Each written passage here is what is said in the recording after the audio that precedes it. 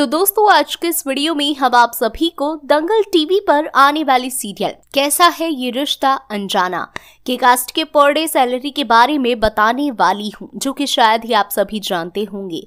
और जानना चाहते हैं तो हमारे वीडियो के साथ अंत तक बने रहिएगा। तो चलिए बढ़ते हैं वीडियो की तरफ़ और सबसे पहले बात कर लेते हैं। Number first, Kanchan Gupta. जो कि सीरियल में कल्याणी का किरदार निभा रही हैं और इनके पर डे सैलरी की बात की जाए तो ये एक एपिसोड करने का पैंतीस हज़ार रूपए लेती हैं। नंबर सेकंड नीलम पठानिया, जो कि सीरियल में सुनहरी का किरदार निभा रही हैं और इनके पर डे सैलरी की बात की जाए तो ये एक एपिसोड करने का तीस हज़ार रूपए लेती हैं।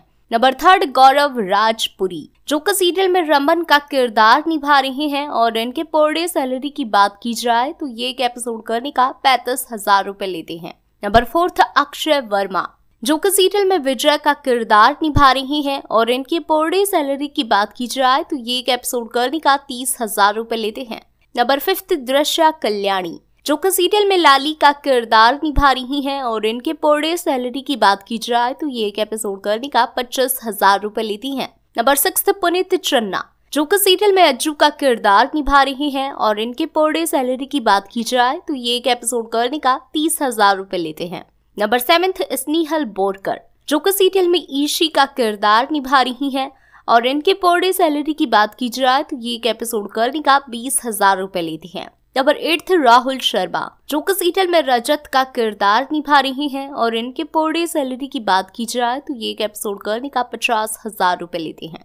नंबर नाइन्थ सांची तिवारी, जो कि सीरियल में अनमोल का किरदार निभा रही हैं और इनके पर डे सैलरी की बात की जाए तो ये एक एपिसोड करने का पैतालीस हज़ार रूपए लेती हैं। नंबर टेंथ चारू आसोपा, जो कि सीरियल में मृदुलता का किरदार निभा रही हैं और इनके पर डे सैलरी की बात की जाए तो ये एक एपिसोड करने का पचास हज़ार रूपए लेती हैं। नंबर इलेवेंथ अनिल लालवानी जो कि सीरियल में अनमोल के भाई का किरदार निभा रही हैं और इनके पर डे सैलरी की बात की जाए तो ये एक एपिसोड करने का तीस हज़ार रूपए लेते हैं। नंबर ट्वेल्थ नताशा राणा, जो कि सीरियल में यशोदा का किरदार निभा रही हैं और इनके पर डे सैलरी की बात की जाए तो ये एक एपिसोड करने का पच्चीस हज़ार रूपए लेती हैं। नंबर थर्टीन राजा चौधरी जो कि सीरियल में फूफा जी का किरदार निभा रहे हैं और इनके पर डे सैलरी की बात की जाए तो ये एक एपिसोड करने का तीस हज़ार रूपए लेते हैं। नंबर फोर्टीन, छाया फंसे। जो कि सीरियल में नंदिनी का किरदार निभा रही हैं और इनके पर डे सैलरी की बात की जाए तो ये एक एपिसोड करने का पच्चीस हज़ार रूपए लेती हैं।